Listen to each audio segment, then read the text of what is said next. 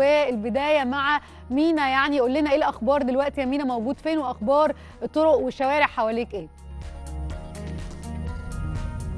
صباح الخير يا هدير برحب بيكي وبكل مشاهدي صباح الخير يا مصر في جولتنا الثانية النهاردة اللي بنتابع فيها الحالة المرورية.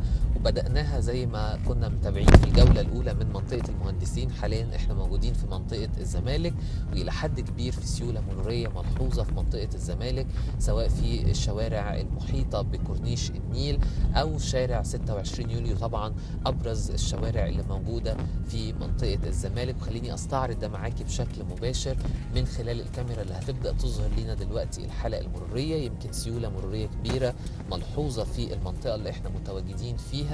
رغم طبعا النهارده زي ما ذكرت إنه أول الأسبوع لكن إلى حد كبير لازال في سيولة ملحوظة في المنطقة اللي إحنا متواجدين فيها بامتدادنا كمان لطريق آه آه كمان كوبري أكتوبر ومطلع كوبري أكتوبر كمان من منطقة الزمالك يمكن بيشهد آه المنطقة المحيطة بمنطقة النادي الأهلي بعض التصليحات في الطريق ورفع الكفاءة لكن فيما عدا ذلك في سيولة مرورية ملحوظة زي ما حضراتكم ملاحظين حتى في الشوارع الداخلية في منطقة الزمالك يمكن معروف لوجود عدد كبير من المدارس والشركات والمؤسسات اللي موجودة فيها لكن إلى حد كبير لازالت في الساعات الأولى من صباح اليوم في سيولة مرورية ملحوظة.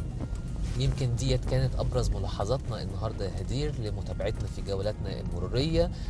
فرصة لكل مشاهدينا اللي حابين إن هم يتجهوا لمناطق مختلفة زي المهندسين والزمالك زي ما ذكرنا لحضراتكم فيها سيوله مرورية ملحوظة لغاية هذه الساعات الأولى من صباح اليوم. عودة ليك يا هدير مرة ثانية مينا مكرم بشكرك. شكرا جزيلا.